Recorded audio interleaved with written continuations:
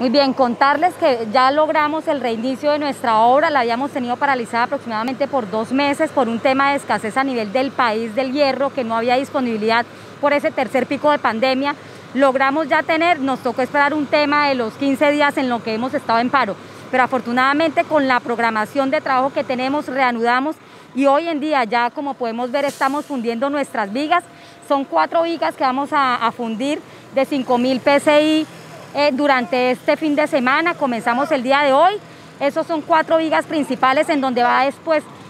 por donde va a pasar la vía del puente.